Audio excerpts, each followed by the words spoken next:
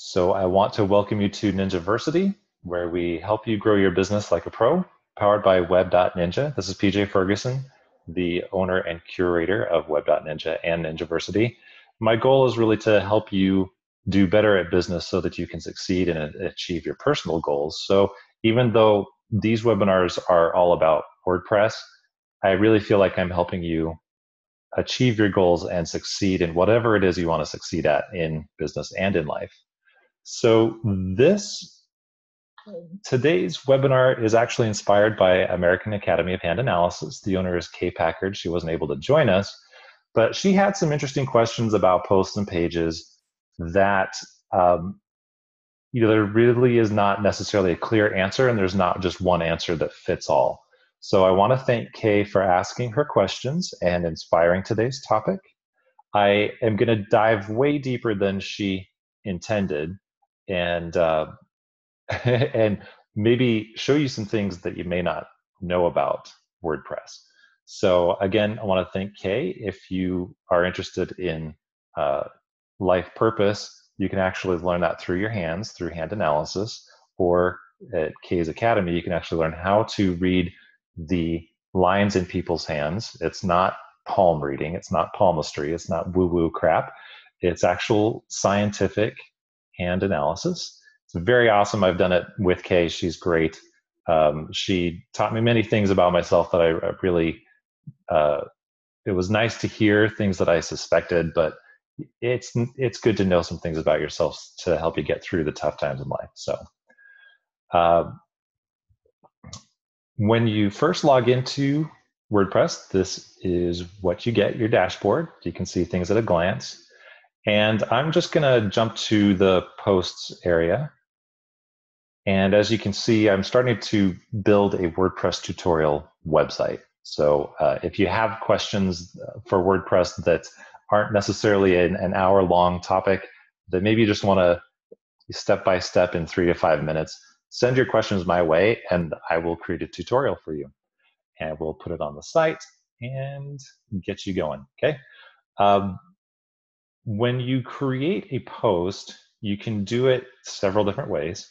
You can go to the navigation on the left under post, uh, just like pages, there'll be a flyout where you can do add new, or you can actually just click on posts and there's an add new button. And there's this little plus new up here where you can hover over the new and you can create a new post, add a new media to your library, new page or user, okay?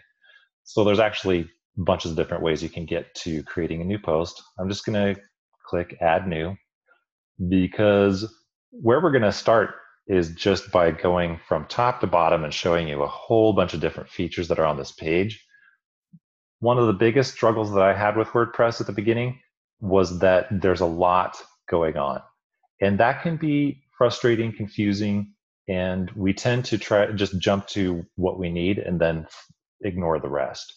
So I hope that just by going from top to bottom and looking at each thing item by item, that'll give you a frame of reference for when you're trying to create a post or a page on your site that you have these different options available. So at the very top, of every screen in WordPress, you have this little pull out for screen options. This allows you to show or hide different options on the page. So you've got format, categories, tags, and I'm not gonna, we don't, I'm just gonna show them all. But basically you can show or hide things that you want or don't want to be on your page. And I really appreciate this feature because if I don't need it, I don't wanna see it. I don't want it on the page. I don't want it cluttering up my brain has enough going on in there. So you might find this a very valuable thing. Another thing you can do is play with the layout. Perhaps you like a one column where you can just scroll through everything this way. Or you have the option of two columns. For instance, I do like the two column just because I can click at everything I want rather than having to scroll. It's a little more convenient for the way I work.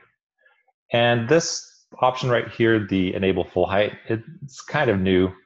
Um, but when you're typing, it, it scrolls the content on your page so that actually this area will grow with the content that you're typing. Uh, so that you can see more of what you're typing. It, it just for thought process sake, it, that can be a helpful or a hindrance for you and the way you work. Again, it's all about convenience. And I'm just gonna, okay.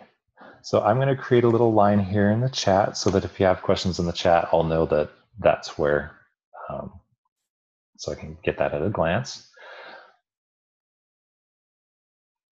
So now when you're adding a new post, here is where your title goes. Okay, so that's where I always start as I add my title. Usually I will go ahead and do SEO research to choose a really good title that will get the attention of the search engines. I also try to take that and form a title that is attention grabbing for my viewers because if the search engines see it, great. But if nobody's interested and they don't click, it kind of defeats the purpose. So if you can get the both the best of both worlds and find something that gets the SE the search engine's attention as well as your reader's attention, that's where you're gonna get some really good traffic to your post. And that's that's the ideal, right? So when you type in your post, you'll see that a permalink pops up. Now, I don't want to confuse you, but I'm going to take you on a little bit of a loop-de-loo because this permalink is a combination of a few things. First, you have the domain name of your website. For instance, here's WordPress tutorial.ninja. Then you mix that with some permalink settings that are in the settings part of your website. And I'm going to have a tutorial for this coming up soon. If you want to go over this in a um, uh, webinar, then we can do that as well. But here's different options for what links will look like on your website when people get to a post or a page. As you can see here, this includes the year, the month, and the day of, and then the name of the post. And so the reason I'm showing that to you because there's one more setting that people get confused by very easily, which is the slug. So the slug is this last part here, which is the name of your post with a, a, couple of dashes in there because that is how search engines space things out in the address bar. You can't actually have a space here. So you couldn't have, um, I'll just type this out up here as an example.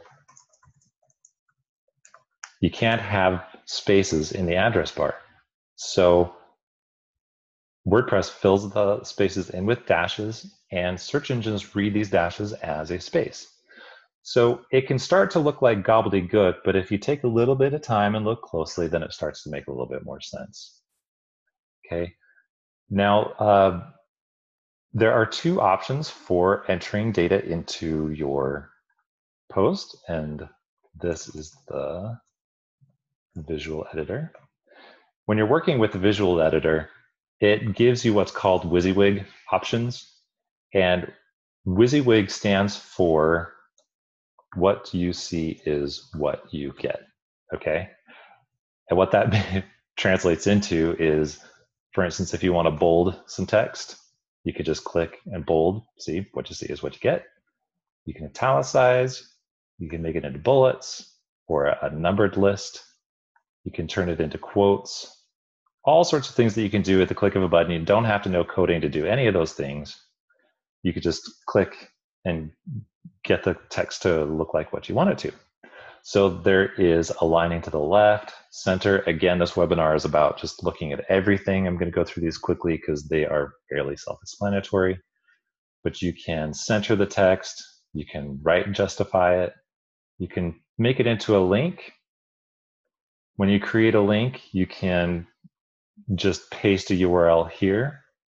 You can also open up a little link window where you can either you can either type in the URL if it's to another website. You can choose whether it should open in a new tab or the same tab. Depending on what your preferences are, both are good. Or you can look at existing posts or pages that are on your website. So if you're not super tech savvy, you can actually scroll through all the content on your site here in this window.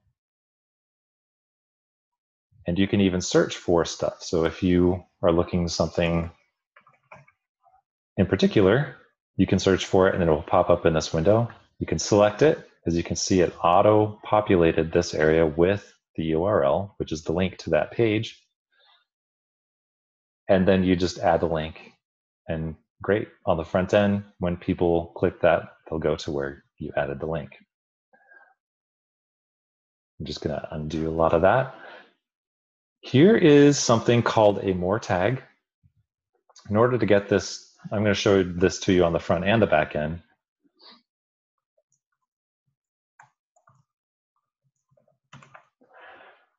When you add a more tag, that allows you to select what people see uh, because it improves the scannability.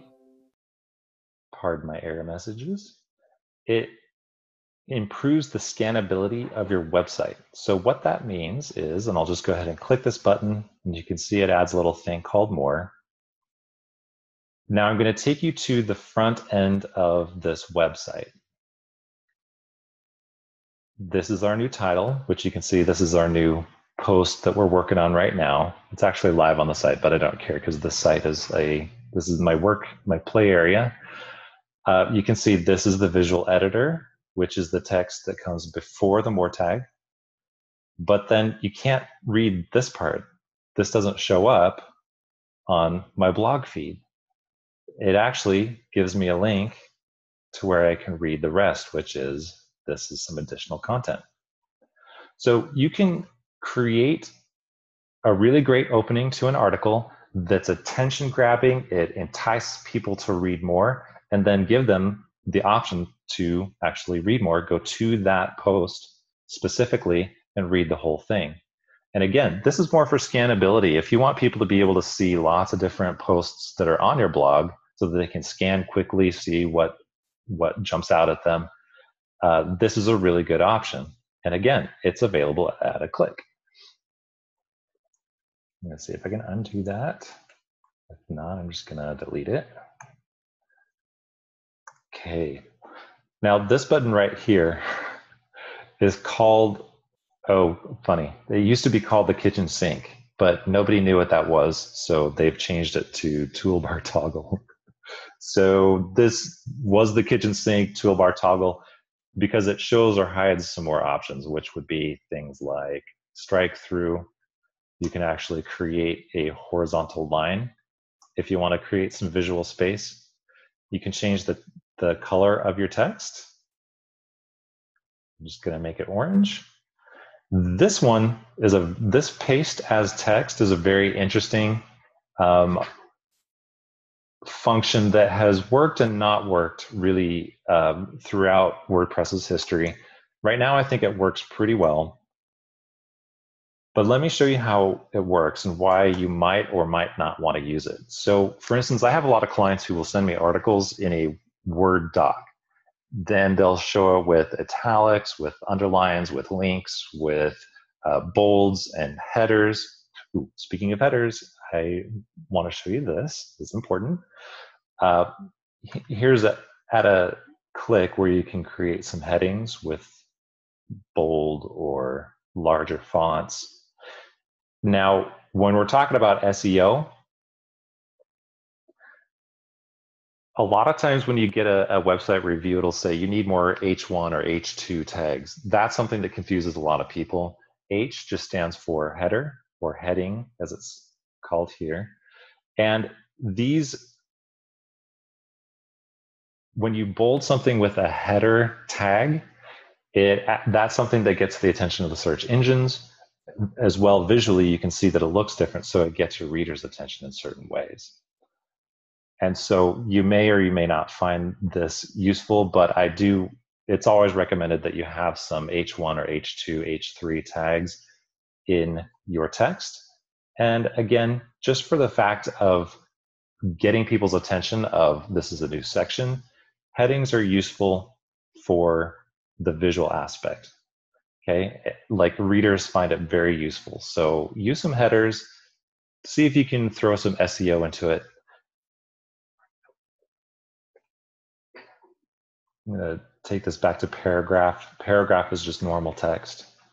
So now I want to introduce, we've been in the visual editor, and I want to show you the text editor. Text editor is where you can actually use coding to uh, formulate the, the visual appearance of your text. So for instance, if I take this text and I make it bold, here it just looks bold. If you go to the text editor, you can see it added some HTML tags to it, which is the strong tag. Right now I'm going to add an italics HTML tag to it. And when I click back to the visual, you'll see, oh, it's bold and italic. So you can actually do just about any kind of basic HTML coding. These days, you can do a lot of CSS coding. You can do a little bit of JavaScript, but this is one place where I want you to really tune in and pay attention to.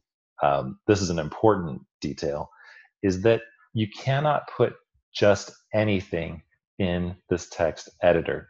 It might seem like it, but what happens is that if you switch from the text to the visual editor, WordPress will automatically delete certain texts or type of code. Okay. So even if you create something in text and you save it, you could add some JavaScript, for instance, and then update. And on your website, it would look fine. But if for some reason you happened, this is a weird WordPress quirk, if you happened to add some extensive coding to the text editor, then click on visual, that would delete some of that, very potentially delete some of that uh, coding. So if you're going to add some pretty intensive coding to the text editor or to a post or page, you really want to make sure that WordPress can handle it first before you go live with that page or that post, because otherwise you can miss out on something. Some uh, function might not work anymore, and you won't even know about it unless you tested it out first to make sure that WordPress could handle it. So if WordPress does have a problem with that, as far as the visual editor is concerned, there are ways around that, and you can work with someone like me to um, solve the issue and find a way to make sure that your code works um, within your visual editor. A lot of times that comes down to using short codes. And short codes are more advanced stuff, so we're not going to go over that here. I'm just going to check in with the chat and see if anybody has questions. Nothing so far. Now, um, since I took that little side trip there, uh, I'm going to get back to this paste as text. And I'm going to just show you what that's for first. Because again, if somebody sends you something or you like to create things in something like a Word doc first, you're going to want to have bolded text. You might have bulleted. Um, you might have quotes, and it it would be super nice to just copy and paste that over, right? Well, you can do that. Oops, I need to talk, untoggle that. Okay, you can do that in WordPress. So you can see that it kept my bullets, kept it my kept my bolded text, and why I took us to the text editor is because what that translates into a lot of times, especially if you're working with Word, is it starts to throw in a whole bunch of unneeded coding. Now, it's not necessarily always bad, but for starters, I'm a purist. I think if the code doesn't need to be there, don't have it there. But what you also end up with is duplications and stuff. So this doesn't need to be there. This doesn't need to be there. Now you're starting to end up with a whole bunch of coded whatever. Now, if you're copying and pasting from Word, Word has a lot of metadata. If I was to copy and paste this from Word, you would have just loads and loads of this crazy, crazy code that isn't needed and sometimes can even mess up the content of your page. So by using this paste as text, I'll just show you. This is when I pasted by normal. I'll just delete all that. Now, by pasting as text, what you have is just text, okay? This is going to be much easier to go back and add some of these elements like the bolded text we wanted here, these bulleted items that we wanted here.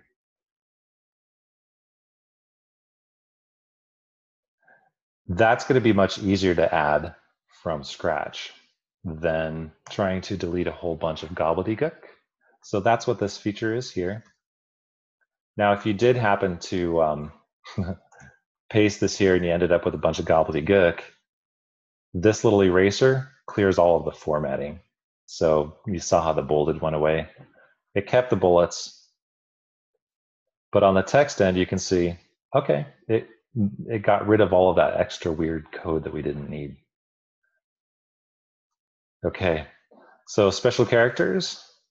This is if you've got something that isn't on your keyboard and you want to add something like maybe an X out or here you've got some fractions that, you know, if you were to do it with your keyboard would look like that.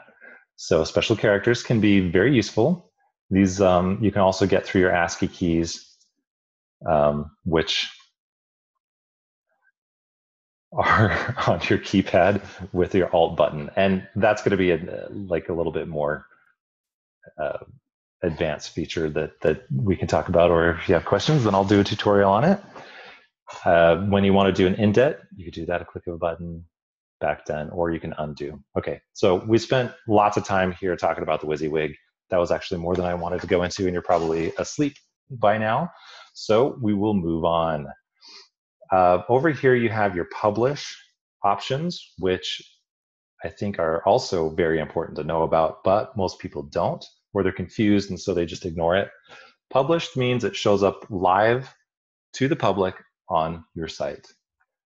Pending review means that it's available for somebody like an editor or perhaps perhaps another administrator to review. So if you have somebody who adds content, you want to review it before it goes live, they can set it to pending review so that you can take a, take a look at it later. Draft is very similar, just that if you have a bunch of thoughts, and I use draft all the time because I have ideas of, oh, hey, I should write a post about this. I'll write it as a draft or just throw some ideas into it so that I can look at it later. But then I can save it and it's completely private. Only I can see it. Um, and that way I can come back to it later and add more content, content to it when I have time.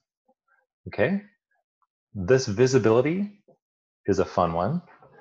Uh, now, if your post is public, you can make it sticky, quote unquote sticky, which is which means that as you add other posts to your blog, if you think that this the content of this post is really important, then you can actually have it show up at the top and keep showing up at the top.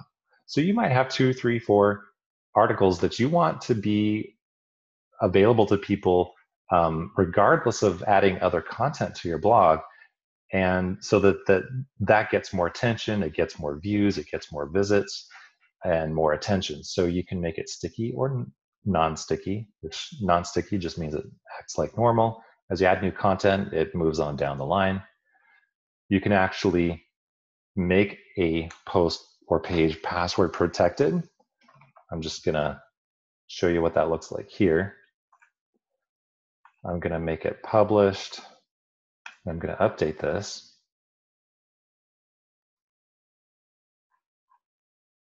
So what this shows up like on the front end is you'll see a protected, which means it's password protected. And here's the title of our article. Now, if I type in the password and hit enter,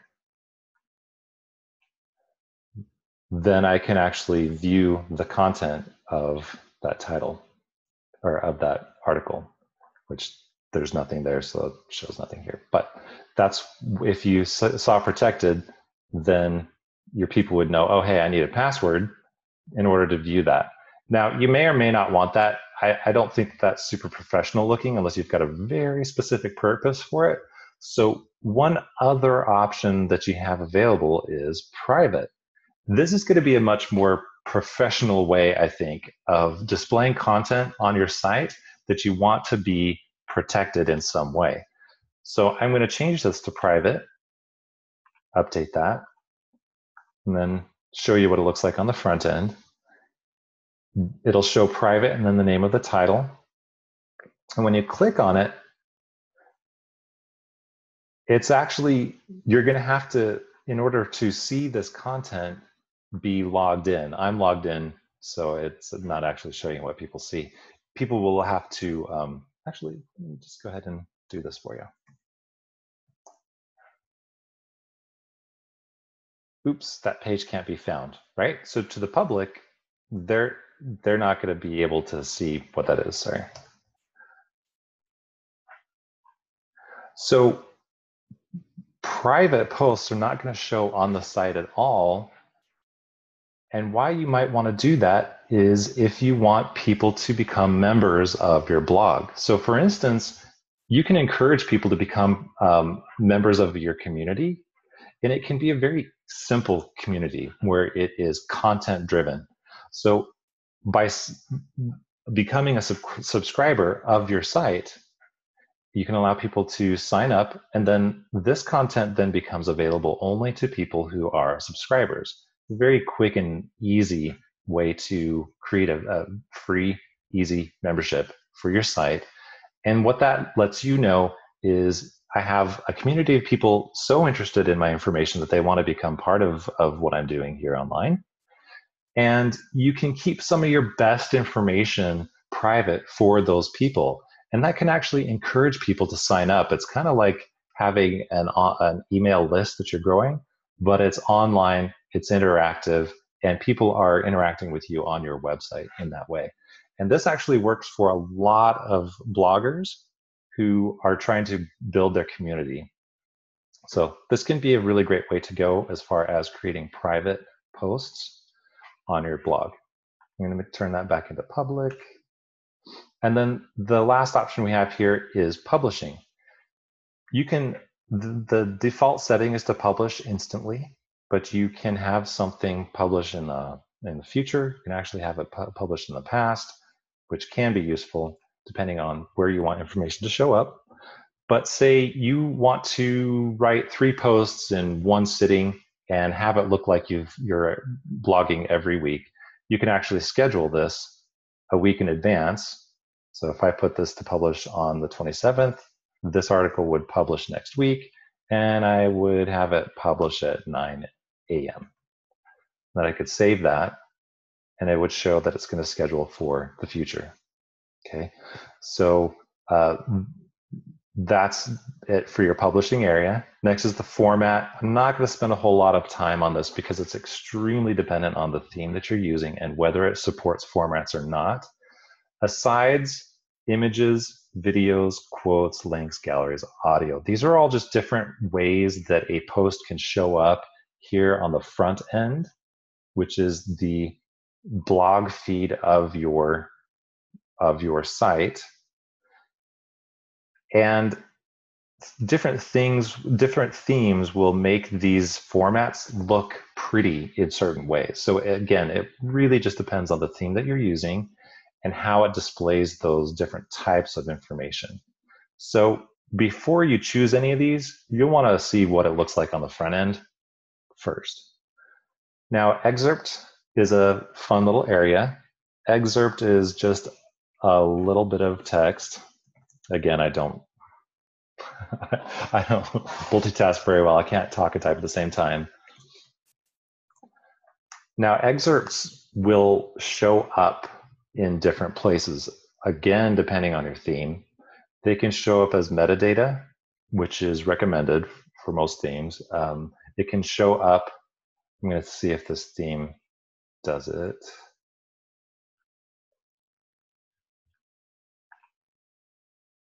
Bear with me here.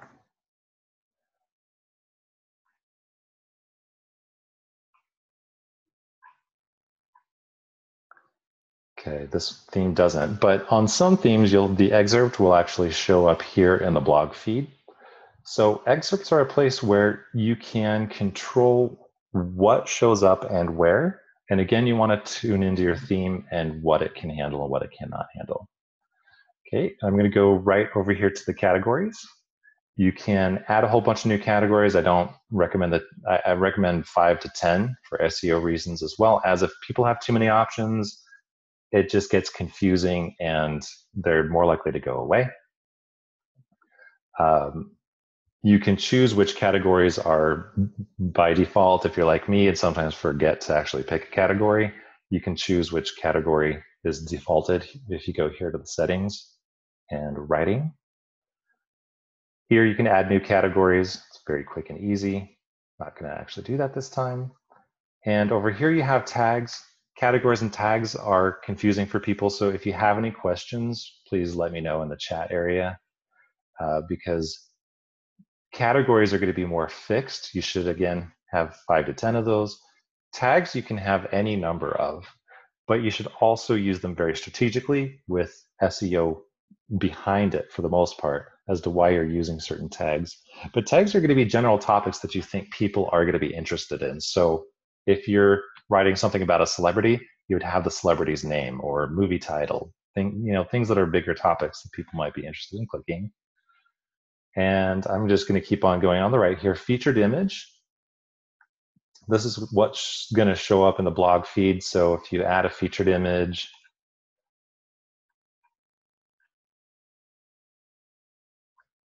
Now, featured image, again, is going to be theme driven.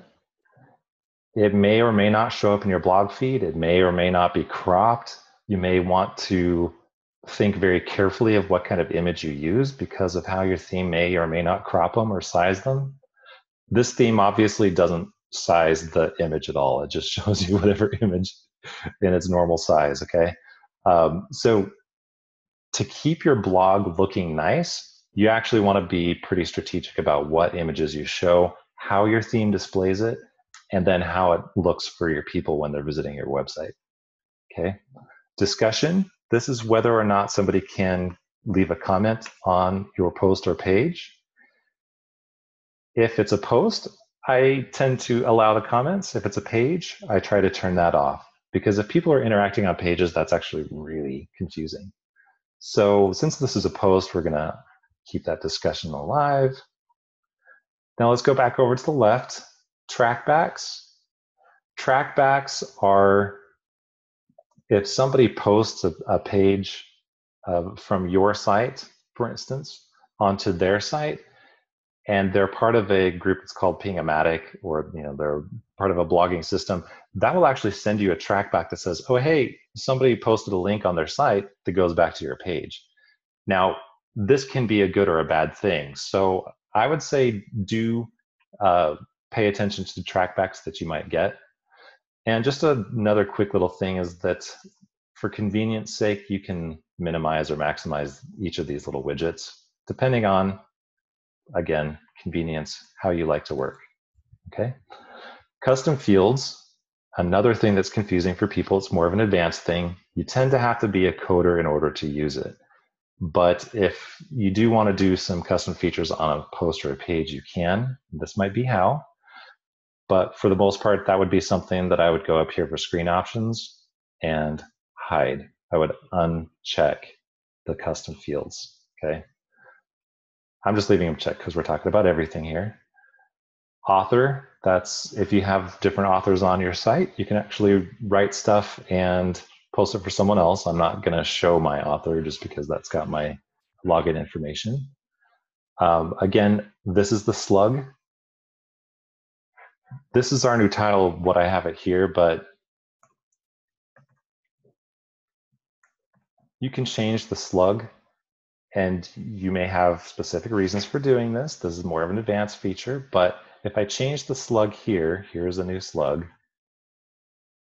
you can see that this changes from this is our new title, which is the title, to here's a new slug. There may be reasons for why you want to do this, but be very careful when or why you do it. And for instance, and I'm going to take us back to um, the Academy of Hand Analysis here. This is what prompted Kay's question because she has some pages with titles on them that she wants to be able to edit the title, but not necessarily change the title here in WordPress. And this is something that's handled by themes in different ways. And so you want to check your theme and see how does how does my theme handle this? How much control do I have over what shows as far as the title of a page? Uh, because you can you can change the title of a page by changing the title here, um, depending on your theme. But if your theme doesn't allow you to do that, then you might want to have somebody like me just remove the title altogether. And then what you can do is you could then add welcome to the top of your page.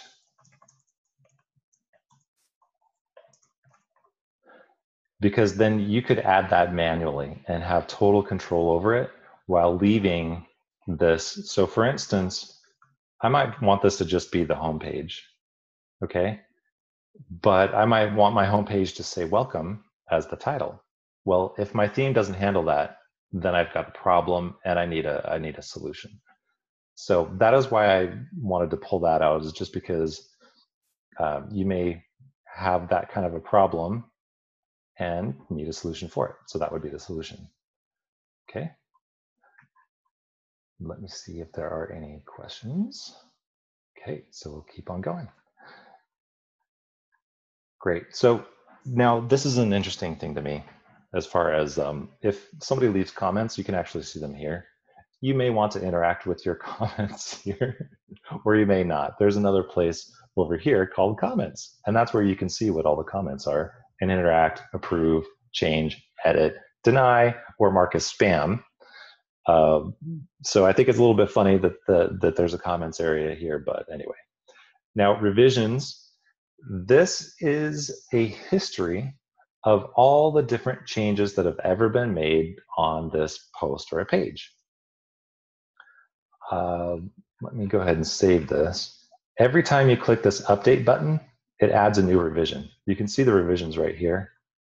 And if we click to look at them, there's a little slider that shows a compare. Hmm, okay, that didn't work. Hold on a minute. This little slider shows a comparison of the different changes that you've made. You can compare the old with the new, and you can view the entire history. I have actually found this a fairly useful tool, especially working with clients who may have made a change that uh, broke their page, and I needed to go back to a previous um, revision or a previous version of the post.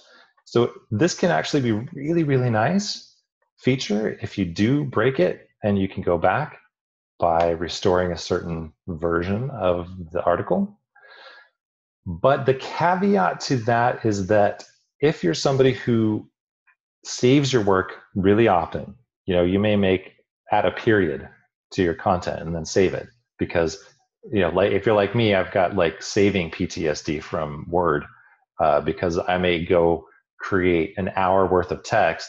I'm so into my writing that I forget to save it, and the autosave didn't save it, that um, something happens and I lose all the data, like it crashes. That can happen in WordPress. So you may end up with 80 revisions to one basic article. Now, that's actually prohibitive because now your database is getting overloaded with all just bloated with all these extra revisions that really aren't useful.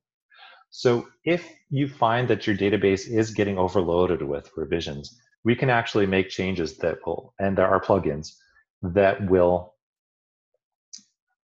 limit the number of revisions to a certain amount. So you can limit it to say 10 or 15 revisions. And if you are a hyper saver like I am, you can see I've already got a whole bunch of revisions or versions saved here, um, you might want to do something like that, like limit the number of revisions that are allowed. Okay. Um, so that's actually that's actually everything for the posts and the pages. The pages are really going to be the same or very similar. Um, this little option is nice if you want to get rid of all of the extra stuff so that you can just focus on your writing. And you can bring back that info really easy. And so I'm going to open up the floor to questions. If you have any questions, please let me know. Uh, I know that this is a huge topic, and I've really just gone through the nitty gritty, line by line, boring stuff that people uh, may want to ignore on purpose. Uh, but a lot of these different details are useful for different reasons. So um, if you're watching this video after the fact, please leave your questions in the comments below, and I will actually answer questions there. And I might bring the topics back for another webinar so that we can talk about that at the end of uh, another webinar, just so that we can have meaningful dialogue that answers your questions, because that is the whole point of these get-togethers is to answer questions that you might have and help you clear away any struggles that you're having with WordPress so that you can get the most out of it. WordPress is a very powerful tool for your website and for your business. And I, I wanted to do these webinars because rather than see you struggle with WordPress, struggle with making changes on your website, I want to help you get over those. It shouldn't be frustrating. It shouldn't be costly. Um, operating your business and your website should be a joy and it should actually help you grow your business. So that's the goal of these webinars. So if you have any questions, any comments, feel free to unmute yourself.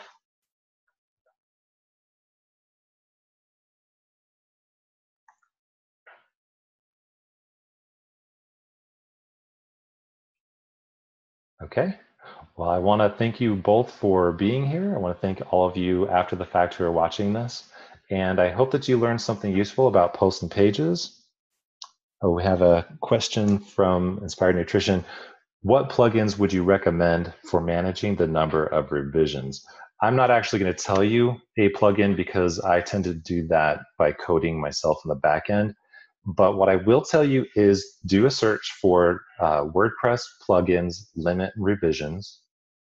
Then the things that you look for are what plugins have been downloaded a lot and have the best um, ratings and reviews by people because that's going to be the best way to go. So something that's been let me actually while we're here we'll just go go there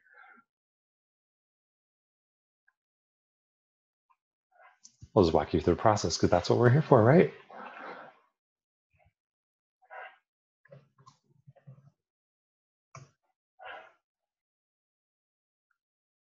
Okay. This one's got 2,000 active installs.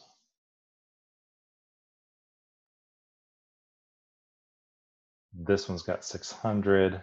So for instance, this would be the one that I try first. I'm not gonna officially recommend it because I haven't used it myself. But this one's got a fair amount of downloads. It's got three, that's an okay amount of, of reviews. I'd actually like to see, you know, 20 to plus because if it's three it could be the programmers who are rating their own um, plugin so this might be one that i try this one might try um, let me go ahead and do some research for you and then i can email you with some thoughts on the on the matter um, and then the other option is that we can actually just go in and code your site for you so that it limits the revisions. And that's what I tend to recommend because the fewer plugins you use on your site, the better. Plugins can start to bog down the performance of your website. So if it's something that can be coded easily, something like revisions, that's what I tend to recommend rather than a plugin. But if you're a do-it-yourselfer, you just want to solve the problem, don't want to pay someone to do the coding, um, then yeah, plugin is the way to go. Hope that answers that question. And any other questions that you might have?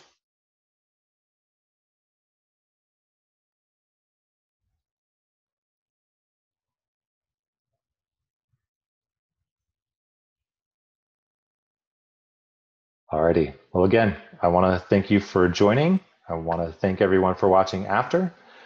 And um, join us next week. Um, I'm actually next week's topic is going to be categories and tags. Yes, I actually love this one. I wanted to point out this page just because it is meant to be everything you need in order to join us on the webinars. It's going to tell you what's coming up so that you can plan ahead.